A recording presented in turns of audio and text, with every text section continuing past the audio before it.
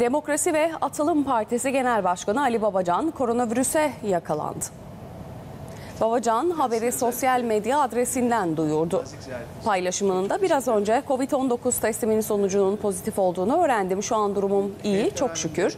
Doktorlarım bir süre ailemle birlikte karantina altında kalmam gerektiğini söyledi. Çalışmalarıma evden devam edeceğim inşallah. Sağlıkla kalın ve lütfen kendinize dikkat edin ifadelerine yer verdi. 150 ila 180